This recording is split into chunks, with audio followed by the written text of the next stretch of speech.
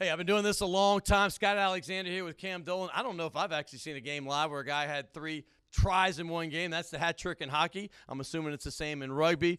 But what was the secret to your success today, big fella? Uh, I mean, I only had three from about a total of 12 meters. So exactly. So the, the, the front row did a real good job on the front of those scrums. Um, you know, the, the coaches and the general manager went out and um, this this offseason and Yeah. looked at where we you know were hurting a bit last season and, and made those differences. Brought in Dino Waldrons, who Yes. uh, is a Team USA tight head. difference, Yeah, and uh, you know Ben Tarr uh, had a, a little bit of a neck injury last year and you know used the offseason and you know the last uh, 10 to 12 months and, and you know got right and you know Matty Harmon's really stepped up. Yep. You know you got the engine room behind him and you know without those guys doing their job, you know I was just an end result really of, of, of a good uh, front up really. I'm gonna say, I'm gonna say this: you, you you did have some short scores, but you did some tough running in between the 20s there too. And I saw some that you got near the try zone. One thing I want to ask you before I let you go: the stadium. Uh, I know we're getting a bigger crowd. It's hard to tell how many people in, but it was close to 3,000. What does that mean when you see the new stadium and the new pitch and the fans coming out to support you? Yeah, you know, just being at the stadium just adds that next level of professionalism.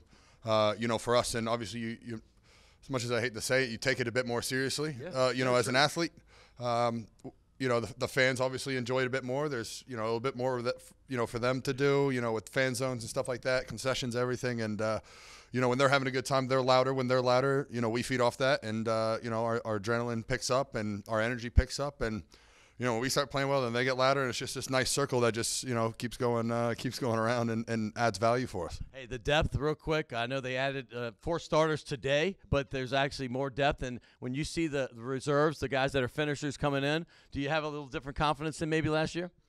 Yeah, you know, we got, you know, we just we had a lot of energy coming off. We we changed our bench up a bit. We went six forwards, two backs, uh, rather than you know than the usual five three. Right, exactly. uh, split, and you know, on a on a day like today where it was a very forwards oriented game, uh, you know, you kind of need that depth and that energy to come off. Uh, you know, because you can't have majority of your forwards, you know, going 80 minutes, and those boys came on and they did it. You know, they did their job and added that value.